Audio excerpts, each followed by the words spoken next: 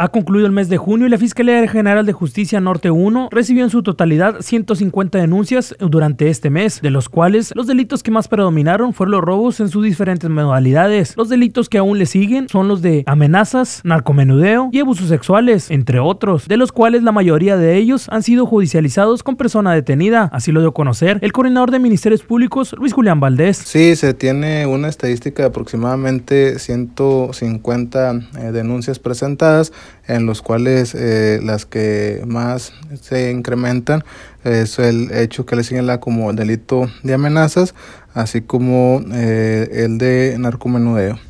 Otros delitos, como el abuso sexual. Eh, esto se tiene una tendencia a la baja eh, y uno de los delitos también de los cuales se presentan diversas denuncias es por el delito de daño. En el delito de robo también se está trabajando y se han estado complementando diversos eh, mandamientos judiciales en los cuales estos hechos pues también se han ido incrementando hacia la baja. Noticieros Rancherita del Aire, siempre líderes.